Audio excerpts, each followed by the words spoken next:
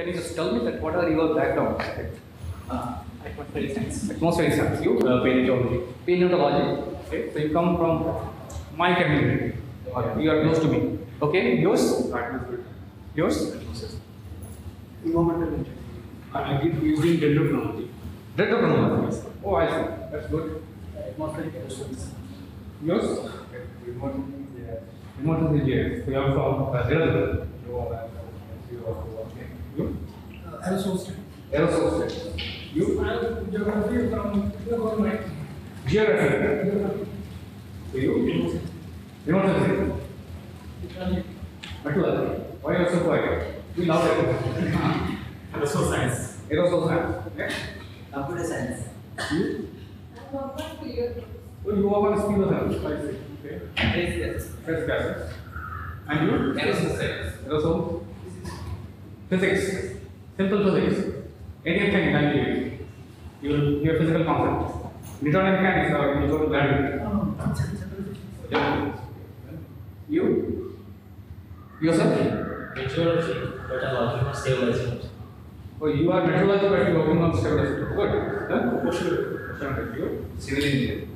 Civil engineer. So both of you decided to be together. Radar metrology. Radar meteorology. So you capture everything which is there in small sizes in the atmosphere, or what do you do? Yeah, it's ground based. Doppler radar. And Doppler weather. Yours? Atmosphere. Atmospheric science. Yours? Uh, aerospace engineering. Aerospace engineering And cloud physics. and cloud physics. So you fly in a craft. Nothing to do with each other. Nothing to do with the, they are discrete. Okay. Who are left? Just give me little background. Applied mechanics and hydraulics. Applied and Hydraulics. hydraulics. You talk about water flow or what? Water resources. Water resources. So you all are just water resources. Quick. Remote sensing. Remote sensing. Then Oceanography. oceanography. Water Water resources. Media. Media. I see. So you advertise for climate change. Yeah. Yeah. No, but it's uh, yeah. Awareness. It's just a related information. You are fond of climate change? Have you watched this movie called Day After Tomorrow? Yeah, yeah. Okay. You were just in GS and we had syllabus about the science also. You have. Basics of course. You are from? I'm from Shimoga, Goa University. I see. Coimbatore University. Aerosol science. Aerosol Science. Yours? I'm an architect applying for sustainability. Sustainability. Earth system science. Earth System Science. So you does everything. You do modeling. So where are you from? Okay. Geophysics, specialization in. And we're working on. Your meteorology. Atmospheric science. Forestry. Forestry. Yours? You told already. Okay, fine. So I am seeing diverse audience. Some of them are aware of something which I will talking. Some of them are not. But we'll still go through some of the basics. Okay? So now, when you talk, talk about paleoclimatology, it means the history of Earth's climate. So what does that mean? How does the Earth form? It started with the Big Bang, what do we know. When did it happen? Uh, you don't know when the Earth came into existence. Around 4 billion years. To be precise, it is around 4.6 billion years. Okay. So now we start with something, a concept where Earth got formed. So do you think that there will be a need of atmospheric physicist at that point of time? Was there atmosphere in the beginning? No. Yes. Yes. Yes, there's a lot of atmosphere. Okay, so what we try to understand in paleoclimatology is to read those kind of archives. So what are those archives? And we put a lot of effort and money for doing that throughout the world. Not us in India, but throughout the world. We put lots of money. And why we are interested? We are precisely interested because of the one reason that you would like to know our past. Unless you know the past, we cannot talk about our future. When I talk about the climate, climate is not one day weather. It's the integration of several days of weathers and climate, several years of weathers and climate, several thousands of years. So it depends upon different kind of archives which you are looking and try to talk about their system. What somebody was talking about the system, Earth system. So now talk about the system at that point of time, understanding their nature, their form of precipitation, their compositions, you try to understand. So what you are seeing here is that gentleman who is from the dendrochronology, he will be able to tell that this is commonly found in trades and they grow incrementally with time. So what you see is differential width of trees. So if you measure the width of the trees, great, each of this width, what is stated, you can tell that how fast the tree was growing, depending upon the water which is present there. It is so easy. So I am designing this as a rain gauge now, which doesn't do every minute, but do annually. So I am telling that I am converting this tree which has been formed in our courtyards, these are teak plantations, I am trying to convert them as rain gauge. Those in the field of they know what is rain gauge. So now what you do is that you collect every day's amount of precipitation, try to figure it out that how much it is, finally convert them into daily, monthly or annual. These are annual rains which get formed. These are one of this rain is annual rain. So it get formed and you start reading them. Reading like, like what you see in the books, what you write. In tomorrow you go and read what you write. So you start reading them as a chapter, which has Earth's experience or the place of experience in the past. So now what we're seeing here is ice core. So ice you get deposited and you can get deposited where? It's, it's kind of a rock. Ice is kind of rock. It's a rock which made of mineral called water. Water is a mineral. So it is made with a water which is mineral. So now you get ice in either two polar region, Antarctic or Arctic, and you get core, ice core drilled from there. And you try to reconstruct the climate based on the ice core study and see that how the past was because it has also formed on top of each other like what you see each pages in the book is lying on top of each other. So it's like a stratigraphy you try to retrieve. Similarly you can retrieve information from ocean. So ocean has sediments. So these are sediment cores which can be retrieved the informations. If you go beyond certain geological time when you don't have ocean close you can start depending on factor, other things which are like fossils. So this is a fossil of something called trilobite. This is a fossil which is similar to the fossils which we see today or their modern species are called cockroaches. So this is arthropod, this is insect which was prevalent during a period which is early part of Earth history. Okay, so now this is for example a fossil of fish. And then you have another fossil of fish, which are shells which are there in the environment. So all of them, they represent the environment. They get formed in the environment. Okay? So now many of you have come from different locations in India. Okay? So now if somebody give me a question that can I use a foreign forensics? That's what police does. Okay? So if you commit a murder, I want to know that which location you come from.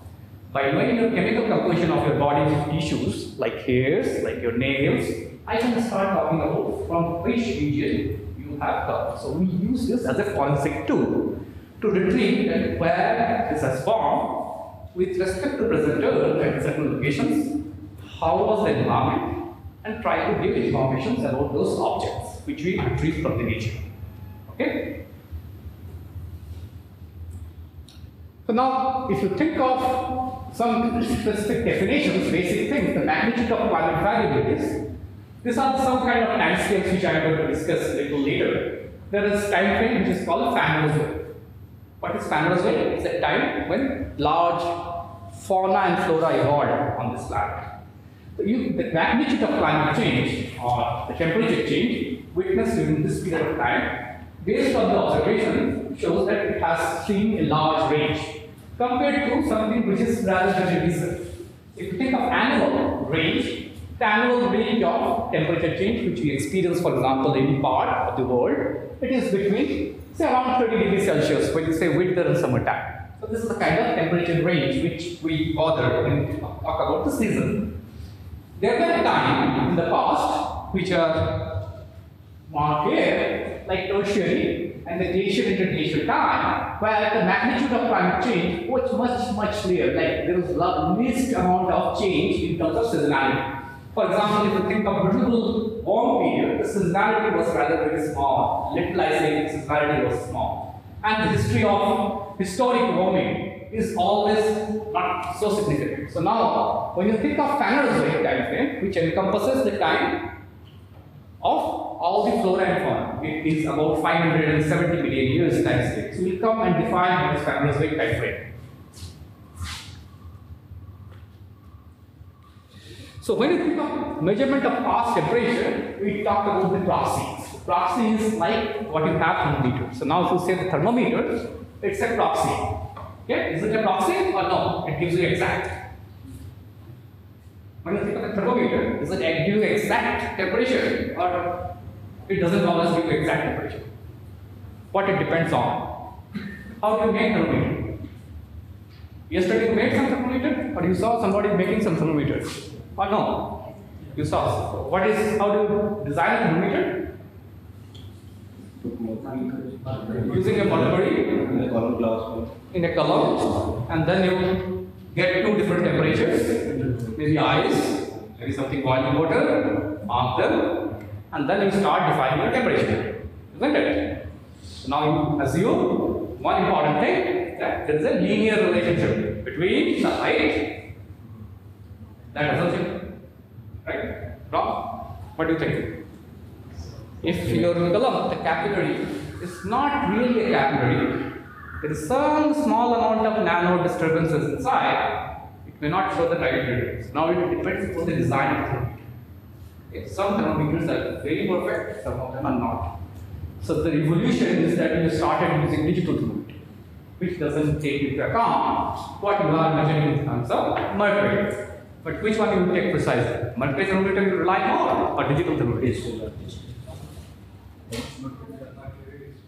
The reason is, can you tell me that why digital thermometer is not reliable compared to mercury thermometer?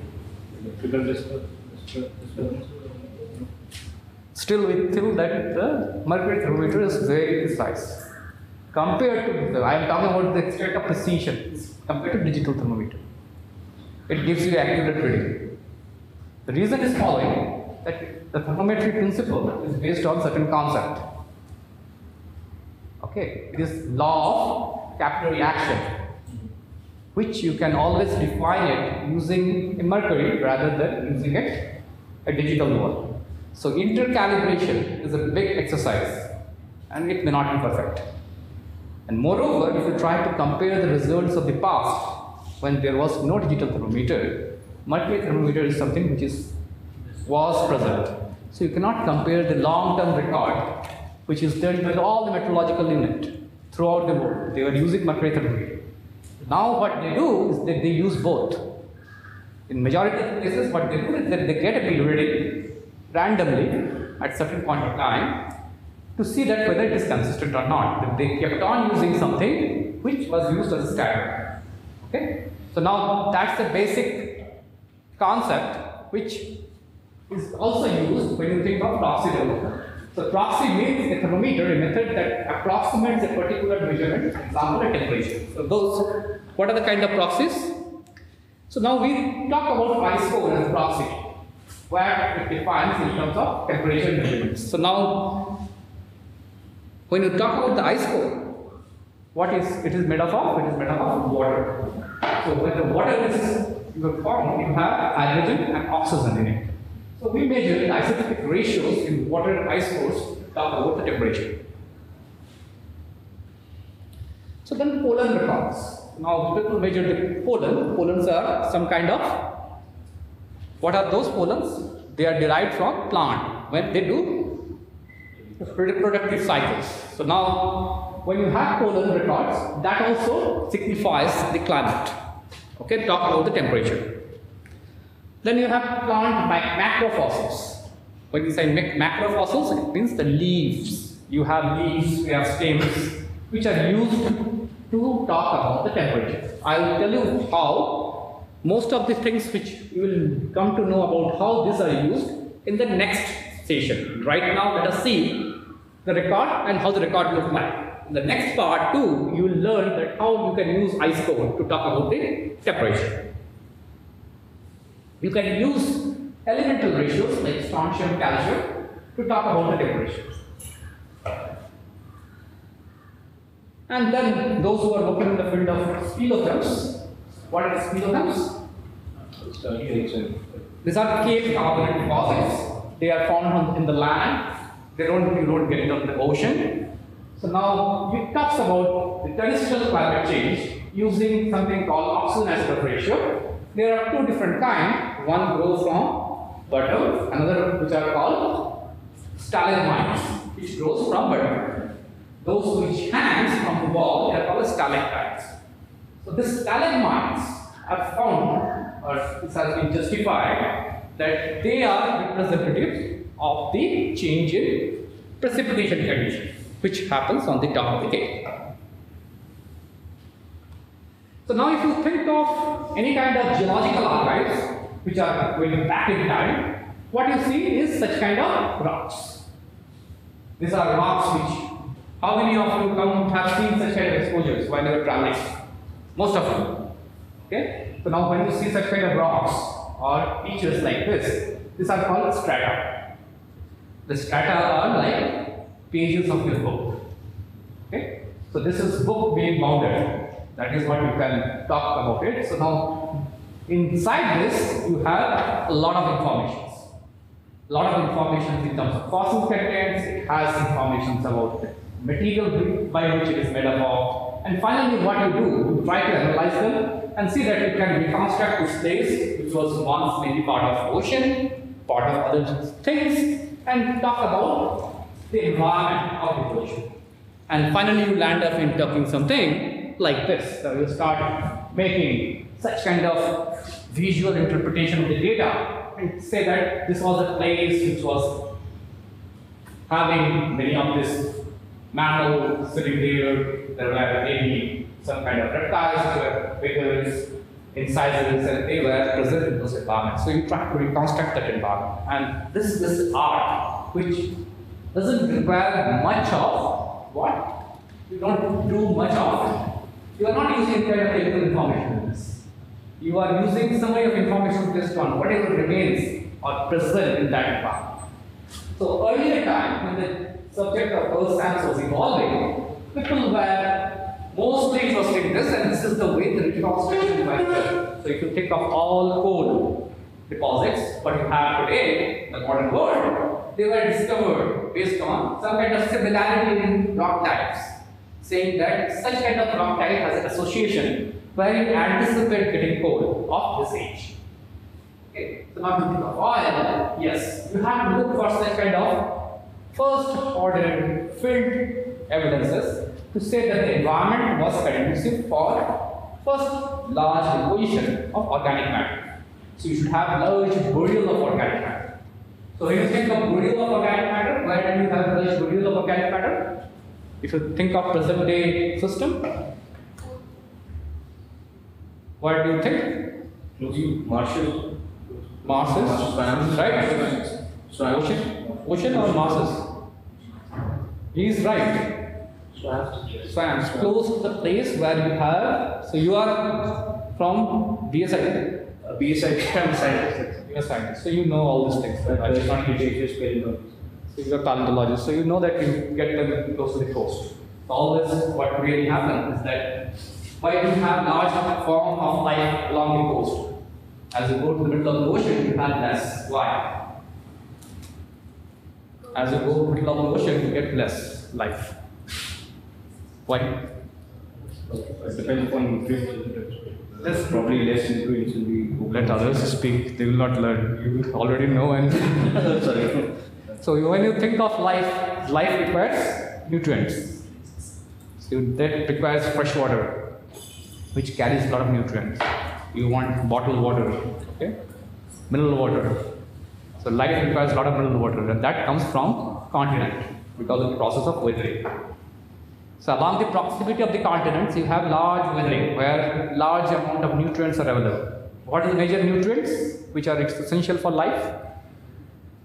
You should have Huh? Hydrogen. Huh? Nutrients of life. Major nutrients. What is are made of? Powder. Carbohydrate. So, tell me the elements which you are made up of. If I give all three of them, then you understand. Calcium, magnesium, okay, calcium, okay, phosphorus. So all your bone architecture is made with phosphorus. This is phosphate. Okay, your teeth made with largely phosphate. Okay, on top you have what? Keratin. Keratin is pigment. Protein. Huh? You'll have a lot of proteins and fat which get deposited on the top and covered you. Okay, in plant lipids. Okay, so now that make the architecture. It, you encase, get encased. In some cases, you get calcium carbonate as a cover, but you definitely need some of these essential nutrients like phosphate, okay, nitrate, which are life limiting, which are life depends on them. Okay. Uh, Okay. So if you think of planet Earth through time, this is a time scale which broadly many of the geologists they talk about. The time which is called Hadean. Hadean is, can you tell me, what is Hadean? Hell. This light hell. Yes.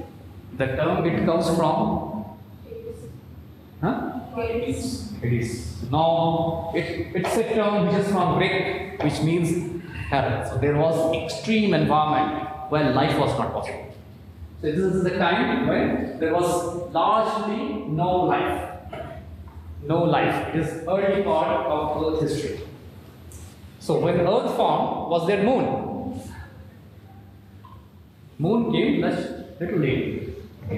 They came close to the time around 4.4 billion years. It took about 200 billion years for the moon to form. You know how the moon formed? You know how the moon formed? Because of collision. Okay, it drifted apart part of the Earth's outer crust. Okay, and the moon formed later. Is there evidences? Yes, there are evidences. How do you get evidence of moon formed later than Earth? Huh? Can study the rocks. Okay, you can study the rocks. What you can do is that you can measure some of the elemental ratios in materials which are coming from the moon. So at some point of time, we did had a lot of plan for studying the moon. Now also we are studying the moon. India is really looking for water in the moon. Okay? So if we get water, what will happen? We can leave this planet and go to moon. okay? No. Hey. How unique? How human came? No, much later. I will talk about human. They came because of by a mistake. I'll talk about human. They came much later. They came in Pleistocene time. So we are here in this part of the world, maybe little around Pliocene time, little older than Pleistocene. The first apes came, primates, and finally the intelligence level started building up. We become technologists, technocrats. We start designing our own stuff, putting keys on top. So this is almost like putting a shell. We put a shell covering us. We know how to maintain this shell, have air condition somewhere.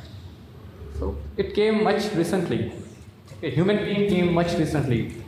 Many of the organisms they came much earlier. Now the question is about when the life came to the earth. In some cases, we debate still that are we Martian? Was the life started in Mars and then it came to Earth? Why do you think like that? Because of the time frame of this time period. This early part, you don't have any evidence of life. Any kind of rock records, if you try to read, they don't give you any kind of evidence of life. This alien part. Then you come to a time frame which is around 4 billion years and onwards, you call it Archean. Archean, why Archean? Old. They're old, but you start getting some kind of early life forms like archaea. Have you heard of this bacteria? It's a bacteria, name is archaea.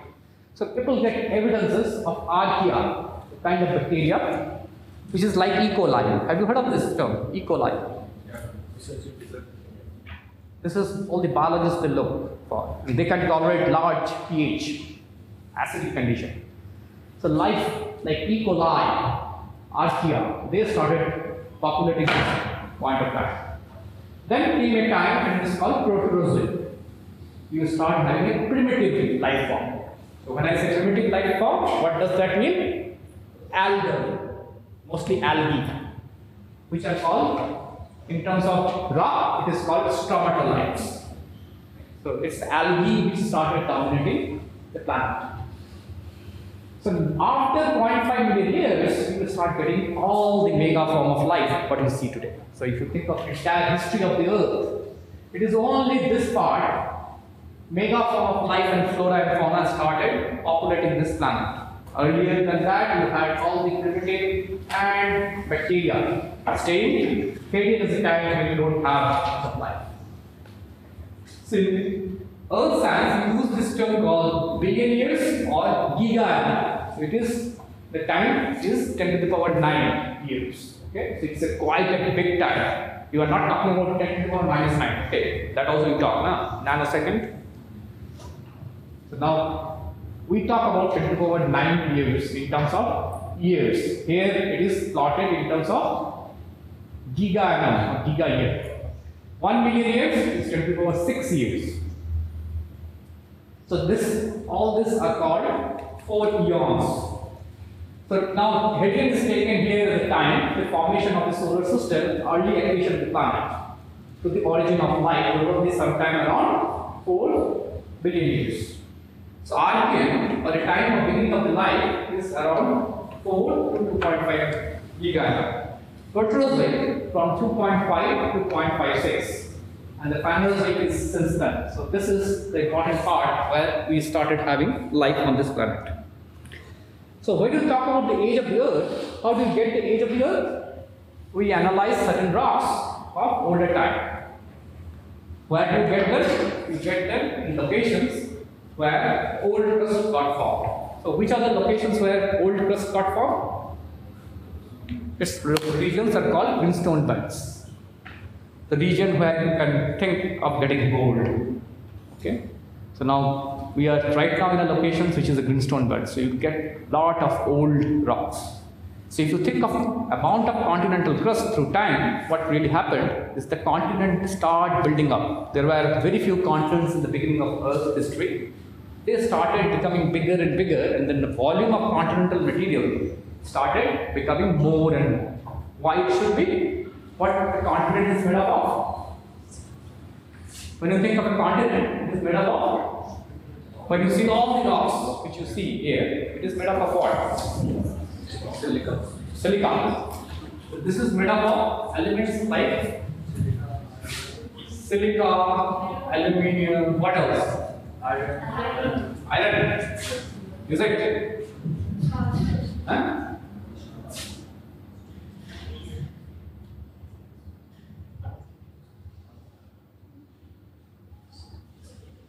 So it is made up of what? Silicon and aluminum? Primarily, primary. Primarily it is made up of silicon and aluminum. If you analyze again the continental rock, you will see that they are made up of silicon and aluminum. And then what happens? As you go to the oceanic crust, it has silicon, but it has magnesium or iron. Okay? So the composition changes. So then from mantle and ore, what is it made up of? Nickel and zinc.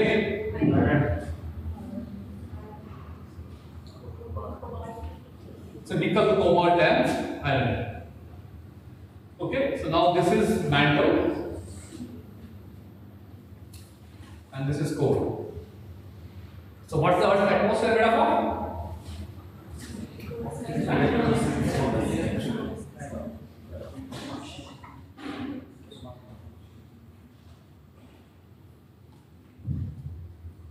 Top part of the atmosphere, what is up of? To go to the top part of the atmosphere, what is the top part of the atmosphere? Huh? Ionosphere. Okay, so what is up of? What is the major composition of ionosphere? Ions. Ozone. You get ozone in ionosphere? So you had taught this yesterday or day before about radiation. James must have told, told you about radiation where he must have told that composition of atmosphere. Huh? It becomes hydrogen and helium dominated.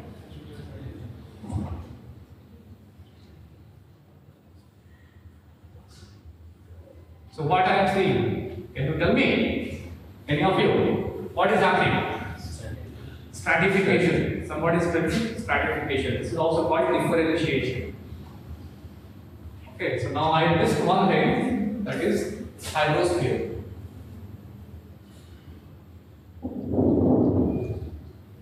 It is primarily water, ocean. That's how the layers are. So things are moving out by some reason. We'll talk about it later. We know reason. Most of you know it, but we won't take about it. Is simple, straightforward, 10 minutes. We'll go ahead. Okay? So now if you think of continental crust, they are made, made up of silicon and aluminum. Where from they come? Silicon and aluminum get differentiated from mantle. Okay? The things which are there in the mantle, they are this kind of elements like aluminum cannot accommodate in the mantle because of its pressure and the temperature condition. They will always try to prefer to go out. So many of the species like potassium, sodium, which comes as alkali elements. Okay, they are big in size, they don't get preferred into the mantle. Because mantle, anything which are smaller in size, get accommodated in the mantle. As soon as you come to the crust, the things which are bigger and lighter, they will come out. So things get differentiated. Once you get differentiated, you form something, a continental crust, which is lighter because of its density and gravity. Because of the process of gravity, this tries to be by the process of Archimedes principle, which most of you know, that it start floating. Like ice, you think, it floats. Okay? Now, when you see a floating ice, small portion is there on the top, while the rest of them are below. Like that, Earth is also like that since intertwined. Though you think these are fluids which flow very slowly, but they do act like a fluid. So you can use usually use somebody told physics, um, microphysics. You can use all the law of fluidics to explain the variable nature of materials which are found in the earth. Where ranging from cold to top of the atmosphere, you can use. What will vary is the Reynolds number. The number will vary. The things will become much much slower. And you don't call them as any longer Reynolds number, you start naming them some other numbers, but they follow Stokes law. Okay? So one of the material which comes out forms in the middle is zirconium. Okay? It's the element which comes out and forms the middle, which we find it in the continental crust. So this is the kind of minerals which you get in the continental crust, and you can use because zirconium do accommodate a lot of uranium. You can date them by uranium-lead techniques to assign the age. So one can do age determination and try to figure it out. What is the kind of age of this mineral? You can also analyze them for compositions like ratio of heavier oxygen to lighter oxygen and talk about the environment in which the zirconium is formed. So most of the zirconium they form in the mantle because of high pressure, temperature condition, and then you get exposed to the surface. Some of them they get grounded because of the process of water action. If you leave a mineral for a long time on the water action like rivers, they get rounded. Based on their shape, it also inferred that was there water in the environment or not. So like that, several zircons through time has been analyzed. And one of the reason why zircon has been taken is that it is refractory. Many of the females they use it as an ornament. It is refractory. And most of the females they prefer something which is refractory because it doesn't destroy the time. So you can leave it. Like diamond is for years. Okay? People advertise it.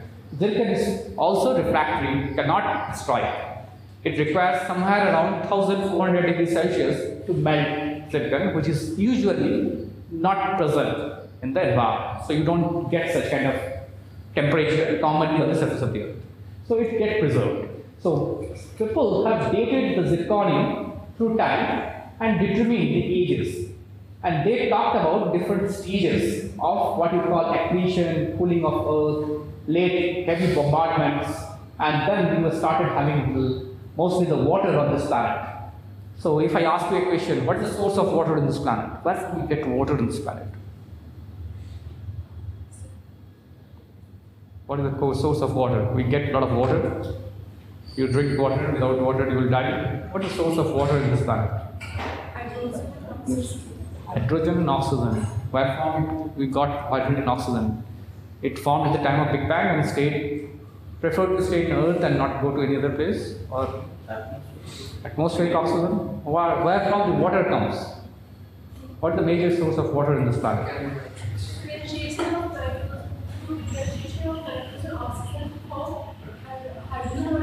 From differentiation of nitrogen oxygen forms. How? We are talking about nuclear synthesis. We are talking about nuclear synthesis? Yes, that is CHN cycle. You will definitely form oxygen. Okay, I am tell- telling that. How do you know that water in this planet? What is the major source of water? Is it indigenous? We have water. If you go to the mantle, on the core, do you expect water? Or all the water is there in the atmosphere, it recycles. But there is water in the rocks, but it's not. Uh, it's, it's not a molecule as such. We have oxygen and hydrogen separated. Oxygen So as an separated. But we want a process where they meet and form water. Like, Yeah, so now- there are hydrous minerals. Uh, so I think it's a big question. It's a big question that where from the water came to this planet. And the partly the answer is no. You know that all the, if you think of all the planet system of the Earth and rest of the planets, Earth is a terrestrial planet. Do you know any other terrestrial planet? Mars, Venus, they are terrestrial planet. When you say terrestrial planets, they have rocks. They have rocks. There are planets which are watery planets, which are made with ice. Do you know any? Pluto, Neptune, Saturn, they are watery. Majority com- composition is water. Okay. So now, is there large interaction which happens between Earth and other planets? So if you just now visit the polar region, what you will see in the polar region? Lot of ice. Okay. Now even if you see in the dark time, night time, which is sometime very short, sometime very prolonged, you'll see a lot of water is entering as fall meteorites. So it comes to the extent of gigaton per annum, the water which is entering into our system from outside.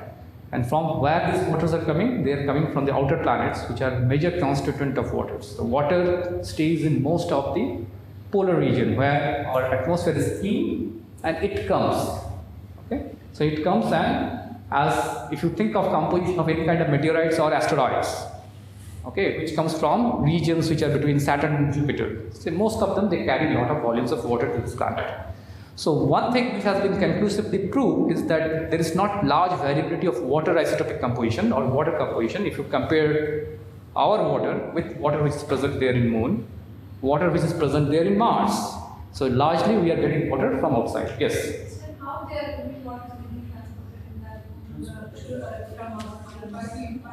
What is that? How it is getting transported? In So now what is really happening? There is a, some kind of centrifugal force, okay, which is rotating the entire thing, our whole galaxy, okay. Because of the force which it is experiencing, there is always a tendency of coming things from outside to inside. If it is big in volume and size, No, sir, water, water will be the same form of, form as water. No, it doesn't come as water, it comes with rocks. Rocks which is made up of along with water, okay? Asteroids and meteorites. So what really happens is that when- if it falls to the equatorial region, it gets defragmented because of the thick atmosphere. The things get lost. You don't see much of falls in the equatorial region. As you go to the polar region, you start seeing many falls. You see white patches of ice, and on top you will see many rocks which are there. You don't expect rocks to be there. So these are all falls which are coming from outer space. So is it true like some comets are totally made up of ice? Some they- comets are totally made up of ice. strike and Yeah, they can they can come and they can hit. Why Like does rocks always go to the North Pole or South Pole? Why uh, don't have the equator? That's what I am trying to explain. They come, but they, they are not allowed to enter because of the thickness of the atmosphere. If you see that the atmosphere is very thick in the equatorial region, as you go to the polar region, the atmosphere is very thin. So it allows the entry point. So you want to see, so you see activities like auroral activities. Okay, the, there will be a lot of ionosphere you will be able to see closely. Okay, so now what you not see here in the part of atmosphere, you can study the ionosphere much in details if you go to the polar region. Okay, because or you go to the elevation, altitude. If you go to the Everest and start analyzing ionospheric composition, it is much easier compared to doing that at mean sea level. Okay? So now there is some kind of consensus in the geological community right now that majority of the water which we started recycling that came from outside. Okay, there is very less indigenous water which is there in the land or in the coast. There is no space for water to recycle. Okay? So now what governs the temperature of Earth? So if you think of temperature of the Earth, one of the important factors which governs the temperature of the Earth, which you must have read in the first class, is the distance between Earth and Sun. Okay? So when you think of a distance between Earth and Sun, is it constant? change. Does it change? When do you think that it will change? So it changes seasonally. So this is a seasonal variability of the distance. It would think talking about different time during the year. So there is large change between the distance. So if you vary the distance, how much temperature you can do? You can change about 0.2 percent in terms of radiation budget. Okay, which is coming and it is very small. So now the factor which determines the temperature of the earth is sun-earth distance. I will tell you how the sun-earth distance can vary apart from this what you are witnessing because sometime we have aphelion and perihelion system. It comes closer when you have summer, southern hemisphere summer or northern hemisphere summer or winter when it is little far off.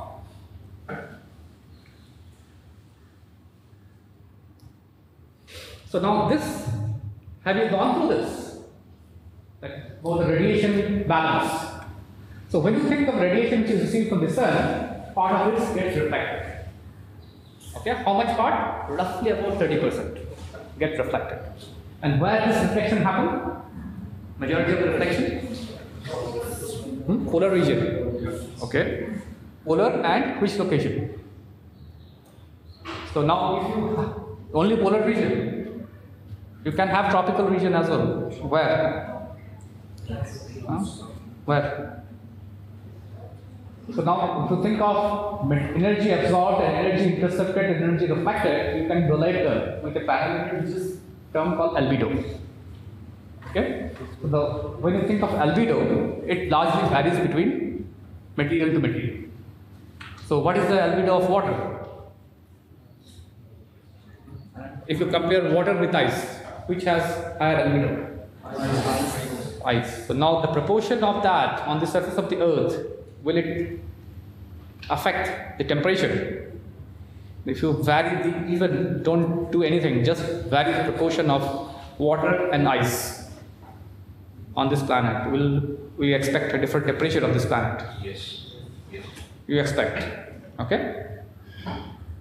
And you can calculate it based on the law of physics. So you most of you are familiar with this. If you do this calculation, putting all the constant, this is this is famous law which is Stefan Boltzmann law, and then you do the energy balance calculations and try to talk about what is the kind of temperature you expect. The temperature which you get is rather very low.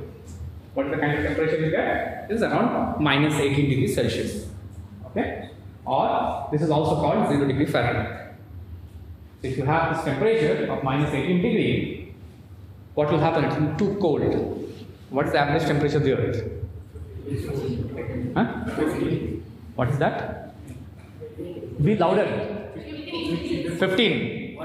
So now the difference between 18 and 15, what it is called?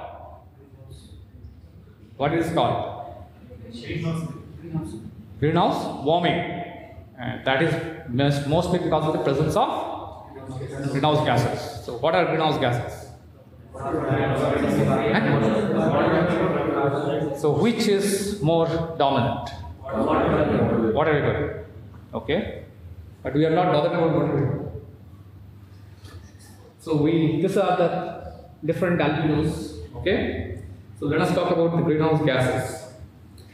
So now greenhouse gases, which we are mostly concerned, are these two molecules. Okay, water and CO2. But there are potentials of others. Like if you think of different greenhouse gases, their concentration, okay, in terms of parts per billion. Okay, now we have exceeded this limit. Now it is around 400,000 ppb. The rate of increase is also here increasing through time, more and more. This rate is not constant. This changes. Okay, so now it absorbs, but there are other gases too, like methane, which has enormous potential. Okay. Now, why oxygen is not a greenhouse gas? When you think of oxygen, it is not a greenhouse gas. It doesn't absorb the infrared Why? Why? Why oxygen, nitrogen doesn't absorb any infrared radiation? Because for absorbing infrared radiation, there needs the change in dipole. And oxygen in the molecular state, it is symmetric, so uh, dipole moment will not change. So, do you know any diatomic molecules which is absorbs infrared radiation? Nitrogen. Do you know diatomic molecules? Diatomic means two atoms there which can absorb infrared radiation. No. Huh? Hydrochloric acid. It should be. When you think of hydrochloric acid vapor, does it absorb? HF vapor, hydrofluoric acid. This is diatomic, um, fluorine and hydrogen. They absorb. But you don't have them in large quantity in the atmosphere. Okay. So it has to be first triatomic where you have the symmetry violation and first you start having a mode of vibration where you expect large infrared radiation to get absorbed. So now CO2 and water molecules, they act as one of the important species in the atmosphere which absorb radiation and it heats up the planet. So now when you think of this 33 degrees Celsius, which is minus 18 and 15 degree, that is what is mostly contributed, contributed by this two molecule, water vapor and the CO2, which we call it as a greenhouse gases. So now if you think of sun as such, sun is like one of the star which has been seen to be following some kind of main sequence stars. Now many of you have read this in physics that sun is one of the main sequence stars. This It's evolving. We know from the world it has evolved over time. It was earlier very small, it becomes red giant, and then it will start gradually warming. And we know that the sun will be different with over a period of time. So now we are right now at this point in the life cycle. So now based on that, what people like Carl Sagan and others, they try to see that sun was really fainter in the beginning when the sun earth was formed. When the earth formed around 4.6 billion years, because as I mentioned, that universe formed around, our universe formed around 14 to 15 billion years back. 14 to 15 billion years, are long time. So this is the time when Earth formed. So sun was very faint. It, there is no doubt about it because we know that similar kind of stars, like sun, they used to be faint because in life, studying their life cycle. So they were fended. So, then you expect that the sun was fended and having given less luminosity, the solar constant which you talk about, it cannot hold square. It has to be lower. So they came up something faint young sun paradox. Paradox, what is a paradox? It was fended.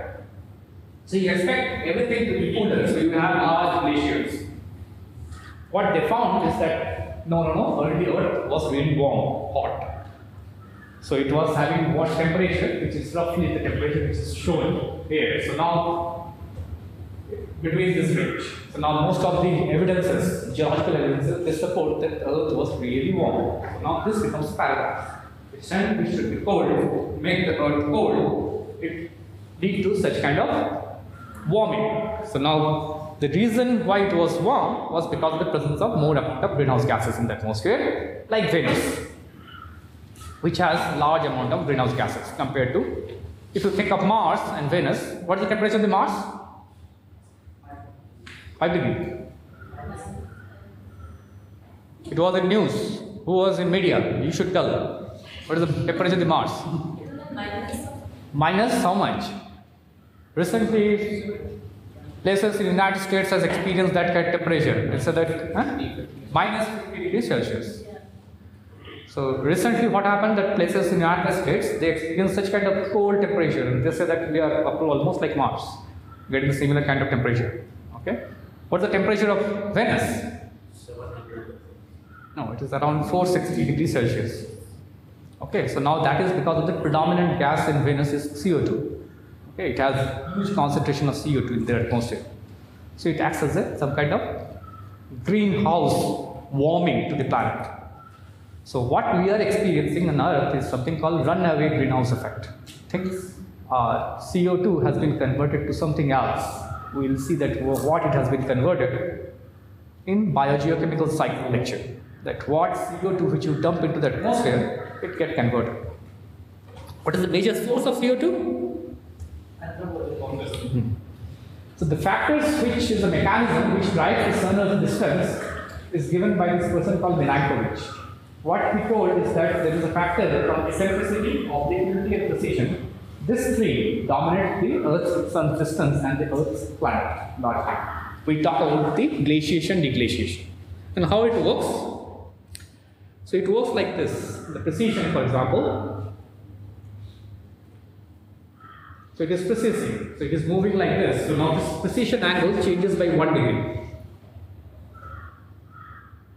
And then you can what you can do is that you, you can come and have temperature which is rather very different. Now when you think of obliquity, which is this angle, which is 23.5, but it varies by one degree gain. So now the orbital eccentricity, that means it can go maximum in terms of ellipse and then it can go maximum to circle. That also changes. It can become like this. So now people have seen, based on the geological archives which I was talking, that there is some kind of cyclicity of this. Is a frequency by which the Earth behaves. And why this frequency? How that is determined? That is determined mostly based on astronomical position of the bodies. Like the, the Jupiter is very close by, it influences Earth's orbital parameters, and as a result, you expect Earth's orbital parameters to vary, and you expect the difference distance. And this is the work which was done largely by a mathematician, and the was He contributed this and predicted that the climate is going to vary in this manner over a time scale of 100,000 years, 41,000 years, and something around 10,000 years of based on the periodicities. And this predictability has been seen mostly based on the tree ring studies. When you see dendrochronology, is a subject which evolved because of the Milankovitch hypothesis need to be tested. So they try to see that whether first, if you talk about sun as important parameter, whether that influences the climate. So when you think about precession, 21, 22 kiloyears cycles, this is the frequency it looks like. And obliquity, it is 41 kiloyears, the frequency looks like this, and the eccentricity is 108 kiloyears. So when you see a temperature record, which is largely like this, combining all these three parameters, you see that, that kind of variability, which is largely a some kind of jigsaw kind of pattern, which you observe over last 100,000 years, maybe millions of years. So now, when you see uh, such features, it means glaciation and you have glaciation. Another important factor, as I mentioned, is continents through time. So now, volume of continents which we see today, the volume of continents has changed over a period of time. So there are very less number of continental landmass in the beginning, and then we start having a large continental landmass, which is what we see present day. And as a result, the albedo has changed. Our albedo remain more or less constant. Now, predominantly the water and ice relationship drives the albedo of this planet. But in geological past, of course, the volume of the continent do has an important role to play when you talk about the planet's temperature. This is another important factors like greenhouse gases in the atmosphere. Now, what are the prominent greenhouse gases in the atmosphere? As I mentioned, CO2. The natural sources of CO2 is mostly volcanic eruptions. They come from the volcanoes. You can have what is this? Volcanoes? No. Industrials. Okay, anthropogenic. Okay, so now you have volcanoes, you have anthropogenic. And what are this? Huh? What? Ocean. Can you put in fire like this? Fossil fuel. These are called methanes. These are called methane gas hydrates. Okay? They look like this. You get in ocean floors. Methane do get formed as a rock. It get consolidated. So in certain position, portion of the earth ocean, you have large deposits of this kind, which escapes, which escapes if you warm the planet. So now there is a big concern that if we warm our planet, the first thing what will happen is that methane, which has been formed as a hydrate, gas hydrate or clathrates, okay, they will escape and become part of the atmosphere. And you know that methane has a tremendous potential, 25 times more potential to warm this planet. So it will be highly what? Dangerous. So it will be better to convert this methane to CO2 or else create devastation. So as a result of that, but it's now told by all the oil companies throughout the world that let us hunt for all the methane gas hydrates. We will just take them out, or else they will escape, and that will create a situation which will be really unstable. Okay? So now, what finally lead to is that the methane form, which we are seeing today, is now getting exploited. Now we are trying to exploit it. What is the other places where you get methane? You get them below the ice sheets. All the Antarctic and Arctic ice sheets, below that you have large concentration of methane. As the ice will melt, you will see the methane escaping, and that has 25 times more potential to warm up this planet compared to CO2. Okay, so it will become much much dangerous, and you will exponentially rise the temperature in much sharper way. Okay, This permafrost thing is the same as methane. Methane. So methane get formed in the below, and Even in soil. The soil. fine as well as- Yeah. So now let us summarize history of Earth's climate. Earth formed around 4.6 billion years ago. Originally very hot, and sun energy output was only 70% of the present. Liquid water present around 4.3 billion years, based on the dating observations which we have seen. Much of the early history erased during the late bombardment, which we will discuss now. So now, since I was telling the Earth didn't have a very thick atmosphere in the beginning, it experienced large bombardments. When I say large bombardment, it is bodies which are coming from outside, they are impacting the Earth. Okay? And we have witnessed this very recently. We know that one of the recent such kind of bombardment happened. Huh? Germany. Huh? Jupiter. Jupiter. Jupiter had a nine- Other planets happened, but on Earth it has happened. It has not. It has killed few people, but not as the, Uh, uh, Russia. it happened in Russia Russia. very recently. A big asteroid came and hit. Okay, not the size of what happened in the time of dinosaurs extinction. Okay, but it was big enough. So now such kind of bombardment was much common in the early beginning of the Earth history. As soon as the atmosphere become thick, this bombardment becomes much, much smaller. So the, in the beginning it was much larger, then there was a period when there was heavy bombardment, perhaps this was the time when the ocean got thinned further because the first glaciers got formed.